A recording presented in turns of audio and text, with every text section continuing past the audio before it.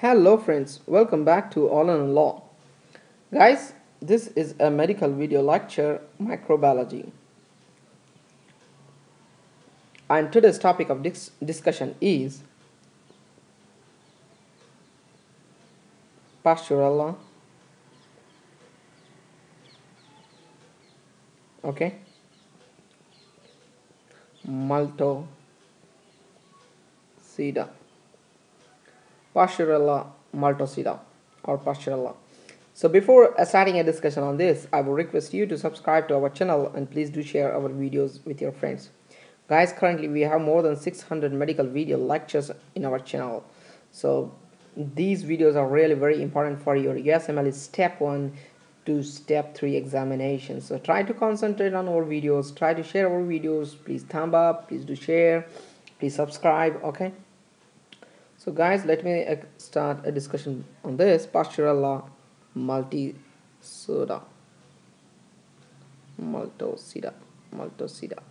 Okay. So before starting, I would like to tell you briefly about the Pasteurella. What are the clinic? What are the sorry? What are the features of this? What do you call genus features of this uh, bacteria? Whether they are gram positive or gram negative, that should be your first question. Whether it's a positive or gram negative. It's a gram negative okay? Are they rods or bacilli they're rods okay? Rods and they're small gram negative rods okay?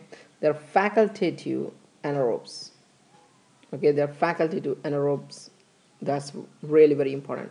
And whenever you think of Pasteurella multocida try to think of one important point. A patient came to you with animal bite think of Pasteurella what you call multocida okay? In USMLE examination just think about animal bite cat bite specifically I'm talking about okay? So what's the reservoir for this? The mouth of animal right? Like cat mouth of animals. Mouth of animals like especially cats and the dogs. How it is transmitted? It's transmitted the bite right especially remember the cat. What's the pathogenesis? How does it act? Pathogenesis. It has an endotoxin and a capsule. Okay? Endotoxin and capsule.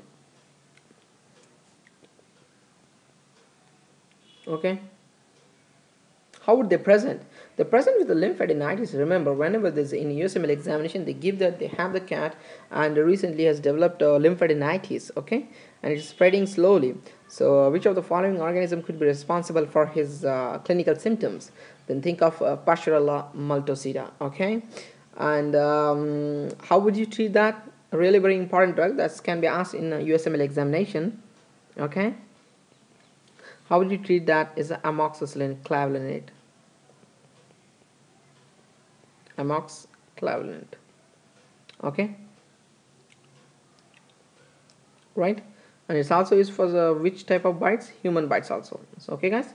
So thank you so much for watching this video. I'm sure this video was really very helpful for your usmle step on examination. Thank you so much for watching this video. Take care. Take care. Take care